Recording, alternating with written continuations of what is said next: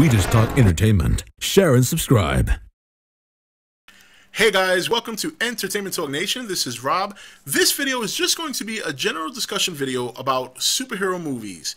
And the question I have been thinking about, because I've seen these comments uh, time and time again throughout different forums, and it, the question is, are superhero movies losing their novelty? Are they starting to lose, uh, you know, that same excitement that people used to have for them years ago when they first started coming onto the scene? And is the superhero movie genre losing fans. Um, you know, I definitely see people out there that are starting to get a little bit tired of it. However, in the overall scheme of things, I don't see it going anywhere anytime soon, and I don't see it not continuing its success going forward. Some of these recent superhero movies have been very good. You know, Captain America was an excellent movie. Uh, excuse me, Captain America 2. X Men Days of Future Past was almost a diamond of a movie. It was so good. Spider Man 2, while I enjoyed it, was not very popular amongst a lot of the superhero genre moviegoers. And constantly people are expressing their displeasures and their waning interest in superhero movies. For the most part, in my opinion, I don't think I don't think it's going to get to a point where they're going to stop anytime soon. I think it'll be many, many years before that happens. You know, there was a time, you know, when I was growing up in the 80s and into the 90s that the action movies were the thing and not to say that action movies don't happen, but I'm talking about like traditional action movies. For example, something like Olympus Has Fallen was a great action movie. That was like uh, a throwback to the, to the old ones of the 80s. You know, the, all the Schwarzenegger films, Stallone films, even some of the Eddie Murphy films like Beverly Hills Cop. Those movies eventually started fading away a little bit, and then you know you don't really see them as much anymore. And when you do see them, for the most part, they're not that successful. Olympus Has Fallen was great you know, now you see a lot of comic and graphic novel movies. You know, and um, even some of the some of the more recent, like you know, the, the second 300 movie was very very good. You know, a lot of people didn't expect it to, to do as well as it did. I thought it was better than I expected. You know, and then you get other graphic novel movies like you know, The Spirit, you know, Sin City and then you get the comic book movies, which are all over the place. I mean, these you know Marvel is dominating the, the movie theaters, whether it's from Disney or whether it's from Sony or whether it's from uh, 20th Century Fox. Then you have now DC, uh, excuse me, Warner Brothers trying to get their DC characters into the fold. You know, uh, Man of Steel, which I enjoyed a great deal.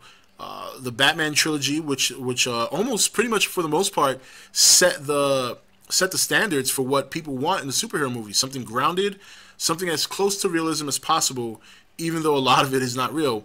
I think Batman was easier to pull off that way because he is really not a superhero. He's a hero.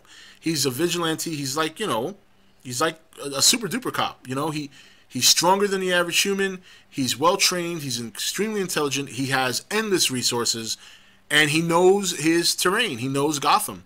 So he, you know, he's the kind of superhero that just takes advantage of the, the resources he has and, and the training he's had and I think Nolan did an excellent job putting Batman in a position where he's dealing with true criminals. You know, the mob.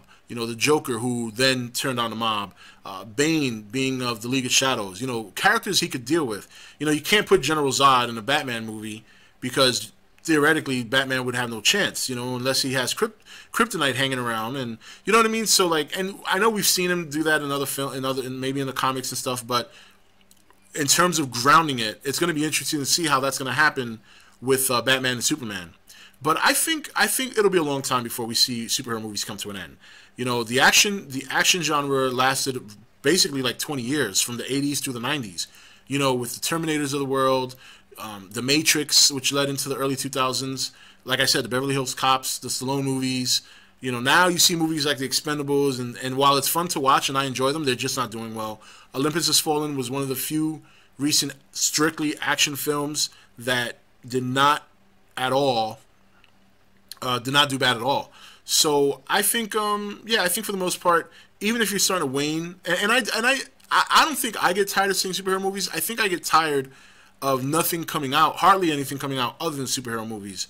Uh, they just seem to dominate the box office. That's what people run to see. And there are some other good movies out there that probably deserve the attention, but these movies just take it away, and they are fun to watch. There's one thing I gotta say is, get tired of them or not, they're, they're still very much fun to watch, but it'll be a, it'll be a while. it'll be a while before people start getting tired of them. Once they start rebooting this stuff again, that's when you're to start people saying, okay, look, we've had enough. It's time to move on. But uh, let's see. Let's see how far they can carry it because Marvel has an endless supply of superheroes and second tier superheroes that they can run to to make movies. And, um, you know, there's still that dream of Marvel getting full control of all their content at one point, which if they ever do, that's just going to spark a whole new series of movies that people are going to want to see. So I say, uh, yes, maybe people are getting a little bit tired of them, but they're far, far, far from going away. And they're far from being unsuccessful if done right. This is Rob signing off for ETN, where we don't do news, we just talk entertainment. Take it easy. Thank you for watching ETN. Don't forget to subscribe and join the Nation Facebook page.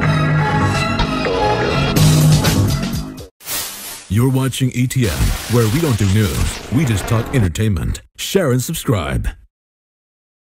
Hey guys, welcome to Entertainment Talk Nation. This is Rob. This video is just going to be a general discussion video about superhero movies.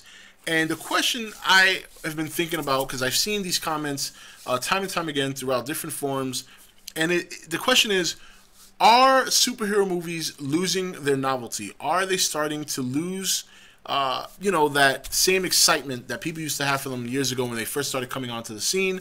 And is the superhero movie genre losing fans? Um, you know, I definitely see people out there that are starting to get a little bit tired of it. However, in the overall scheme of things, I don't see it going anywhere anytime